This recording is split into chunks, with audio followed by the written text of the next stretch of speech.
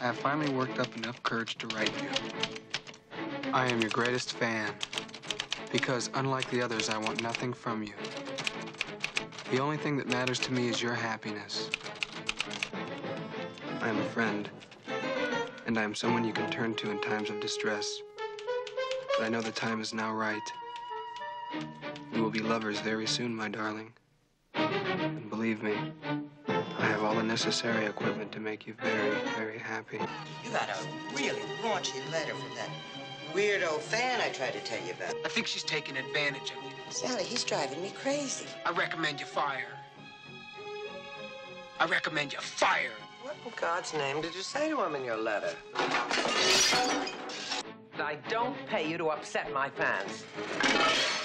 You don't even know your fans. I'm the one that has to put up with him. He's the one that's gone too far.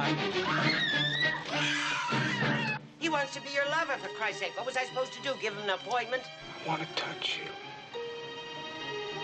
I want to make love to you. Just ignore him from now on. He's harmless. Miss Goldman?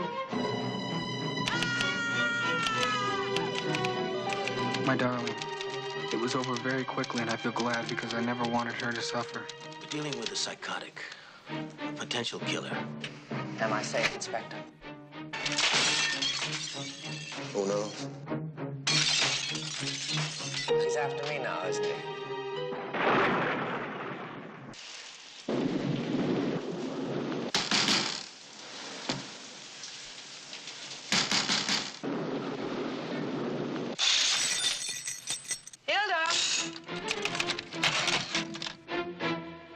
land.